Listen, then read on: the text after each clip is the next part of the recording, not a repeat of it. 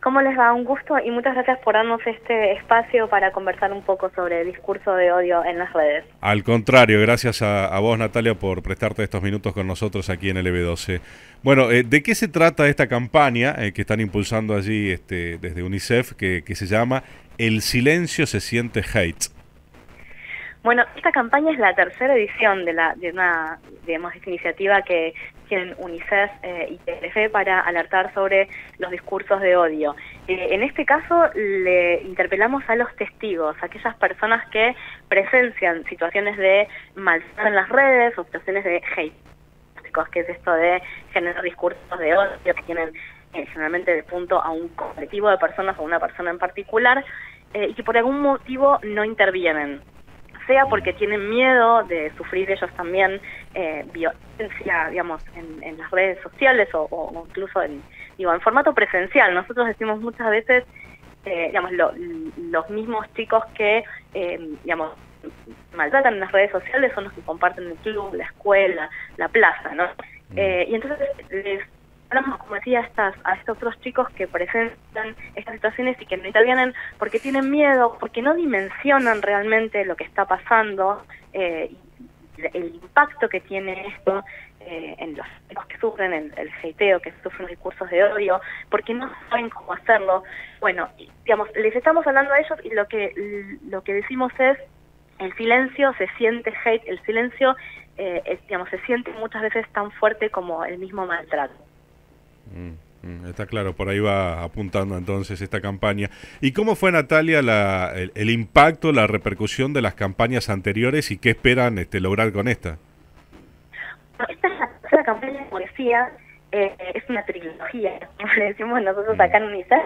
Eh, la primera campaña em, que le hablaba al, al hater directamente, era el, lo siento hater, lo que no te gusta de mí, a mí sí.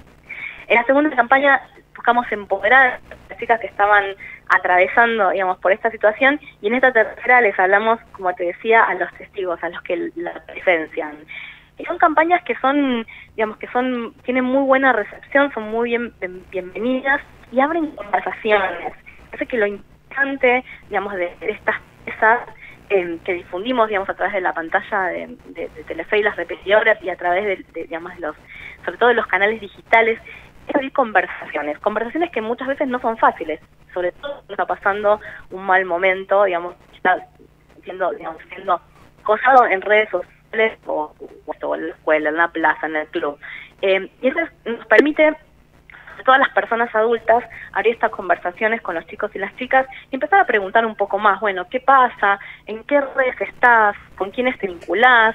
Eh, compartir, eh, contame un poco, enseñame, eh, y abrir estos canales de diálogo que son importantes el mañana Ay, a ver, se está... situaciones son los que... Eh, Natalia, a ver, se, ahí este me parece que, que estamos retomando la... mejor? Sí, la última parte no, no te habíamos tomado bien. Perdón.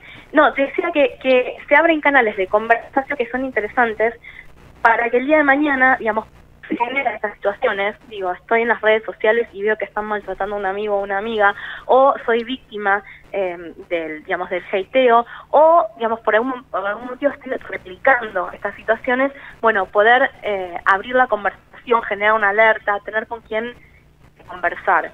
Eh, por eso digo yo que son campañas que, digamos, que interpelan a los chicos y a las chicas, mm. pero también a los adultos que acompañamos. Seguro. Además también pienso, Natalia, que por ahí, bueno, este, obviamente que en el momento donde ocurren estas cosas, por ahí la persona o el adolescente, el joven se siente muy mal y quizás con el tiempo lo pueda superar o quizás no. Y ahí es en donde puede venir este un impacto para la salud mental también, ¿no? Totalmente. Este año eh, alertamos especialmente sobre el impacto que tiene en la salud mental, en la autoestima de los chicos. Pensá que en la adolescencia, o sea, en la adolescencia es un momento de la vida en la que em, de alguna manera empezamos a ganar autonomía y empezamos eh, a, fortalecer la, identidad, a encontrar la propia identidad eh, y, este, y, la mirada de los pares, sobre todo de los pares, pesa muy fuerte. En general la mirada de los otros pesa muy fuerte en la configuración de todos, digamos, niños, adolescentes o adultos, pero en el caso de los adolescentes, la mirada de los pares tiene un peso muy importante. Por eso, maltrato en las redes sociales tienen un impacto fuerte, sobre todo en la autoestima de los chicos y las mm. chicas. Y este año queríamos poner especial énfasis en eso. Vos me preguntabas, bueno, ¿cómo les, les, les fue en, las distintas campañas? Mm. Yo creo que desde que empezamos a hablar sobre mm, riesgos en línea o riesgos online, hasta, digamos, hasta ahora, en estos últimos tres, tres a cinco años, eh, sobre todo el mundo adulto empezó a tomar más conciencia de que eh, lo que sucede, lo que le sucede a los chicos y las chicas en, las redes eh, no es no es algo de chicos, no es una pavada, ¿no? Tiene un impacto tiene un impacto emocional fuerte em, en, en, las, en las adolescencias. y la, la, otra frase que nosotros decimos de UNICEF y que para mí es muy significativa, lo que duele en el mundo virtual duele en el mundo real. Tenemos noción en el mundo virtual que del otro lado hay chicos, chicas, personas, digamos, adultas como, digamos, como cada uno de nosotros y nosotras, ¿no? Seguro. Eh, bueno, eh, una consulta de un oyente, Jorge, nos pregunta si las personas grandes este, no sufren bullying también. Seguro, seguro, Jorge. Las personas adultas también sufrimos eh, bullying y discursos de odio, sobre todo las personas que están más expuestas. Eh, muchas veces, por ejemplo, las, personas que trabajan en, televisión, las personas famosas. El punto es que tenemos más herramientas eh, emocionales eh, tenemos más madurez para poder lidiar con esas situaciones. Herramientas que los chicos y las chicas que están en pleno crecimiento no, no siempre tienen eh, desarrolladas y ahí está el, rol de las personas adultas que acompañamos para poder eh, intervenir y poder eh, acompañarnos a que puedan atravesar estos momentos que muchas veces son de, mucha angustia. Se supone que uno, digo, después es muy personal y cada uno tendrá más o menos herramientas, pero los chicos y las chicas que están en edad de crecimiento mm. muchas veces no tienen la madurez para poder eh, enfrentar o, los recursos para poder enfrentar este tipo de situaciones. Mm. Eh, Natalia, yo siempre pienso en los contextos, ¿no? Y digo, en el contexto en el cual vivimos actualmente, en una sociedad agresiva, violencia, irritable, y en donde a veces ese discurso de odio se replica en la propia dirigencia política, ¿no? Digo, eh, ¿Cómo hacemos para contener de este discurso de odio a los adolescentes? Cuando desde arriba, desde aquellos que por ahí tienen espacios de poder, en vez de eh, trabajar para contrarrestar esto, lo terminan potenciando.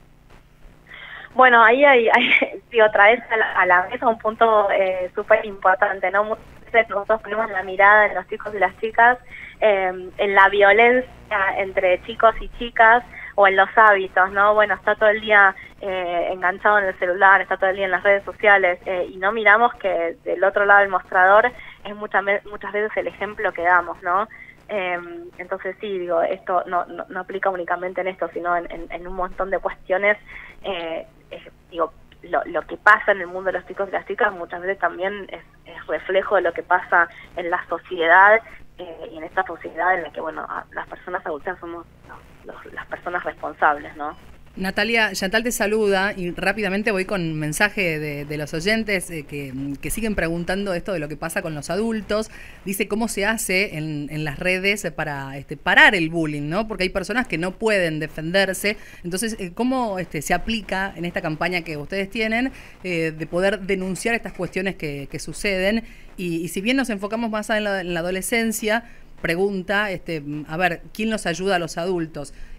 Además de eso, mm, preguntarte y una pequeña reflexión también para eh, algunos este, hablan ahora, no se puede hacer humor de nada, no se puede hablar de nada, también, digamos, este, parar con esos extremos que existen.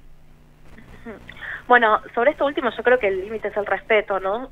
Eh, digamos, el, respeto hacia los demás, el respeto hacia las demás personas y, digamos, y la, la, la medida de derechos humanos. No, nada puede ser gracioso si está lastimando digamos, si lastima, si hiere, eh, si falta respeto, si, si vulnera derechos. Como si vulnera derechos no es gracioso, no, no, debe, no, no debería causar gracia a nadie. eh, con respecto a qué hacemos, bueno, cada red, yo, cada red tiene mecanismos propios eh, para, eh, no sé, que nos permiten bloquear, silenciar, denunciar. O sea, las redes, lo, como lo, primero que se me, se me ocurre compartir, es que importante que sepamos eh, digamos, cuáles son los, los mecanismos de privacidad de datos eh, y de, digamos, de control de este tipo de situaciones, la red en particular. Muchas veces nosotros damos permisos y aceptamos sin entender realmente, eh, digamos, cómo, cómo funciona la red en la que estamos. Mm, mucho menos con los chicos y las chicas, digo, hay muchas, muchas personas adultas que están en el mundo digital, que lo conocen y que incluso son usuarios, pero hay muchas que no y que se sienten eh, como muy ajenas a, a, este mundo que para los chicos que son nativos digitales es un mundo natural. Entonces ahí también la sugerencia es poder acompañar esto que te decía de conocer cuáles son los entornos digitales en los que están los chicos y las chicas y a lo mejor explorar juntos. Digo, a ver, bueno, estás en esta red social, bueno, ¿y cuál es, qué tipo de información vas a compartir? tenés conciencia de que esta información es información que se puede hacer viral, a la que acceden todos. Muchas veces los chicos no tienen esa dimensión. Bueno, y si algo pasa, ¿cuáles son los mecanismos, digamos, con los que podés hacer la denuncia? Como hacer estas preguntas digo, también nos ayuda a entender un poco más cómo funciona la red. El segundo punto es esto que te decía de abrir canales de conversación. Em, digo, eh, en la adolescencia, que generalmente hay un vínculo, eh, bueno, con el mundo adulto que, que, es mucho más tenso, porque los chicos están encontrando la propia identidad y necesitan diferenciarse. Mm. Por eso es importante siempre que haya ahí un canal eh, de diálogo. Si algo te molesta, si algo no te cierra, si algo te angustia lo que está pasando en, ese entorno, en el mundo virtual, en el mundo real, lo importante es poder levantar la mano y pedir ayuda, encontrar, digamos, alguna persona eh, adulta de confianza con la que pueda hablar, que pueda intervenir. Y el tercer punto son las líneas de ayuda, digamos, en las situaciones en las que, eh, eh, digamos, la, la situación se vuelve grave, eh, y necesitamos algún tipo de apoyo profesional, bueno, la línea 102 es una línea gratuita y es una línea que nos presenta asesoría, digamos, sobre cómo actuar, incluso, digamos, sobre cómo hacer eh, una denuncia si es que esa situación lo amerita. Natalia, muy interesante la charla, te agradecemos estos minutos con LB12, que tengas buen día. Muchísimas gracias a ustedes, la campaña se llama, em, digamos, El silencio se siente hate eh, y nos alienta a todos a, que tengamos el coraje de poder intervenir si vemos una situación de hateo. Perfecto. Muchas gracias, eh. buen día. Hasta luego. A ustedes. Natalia Calisti, especialista en comunicación de UNICEF Argentina, aquí hablando con LB12.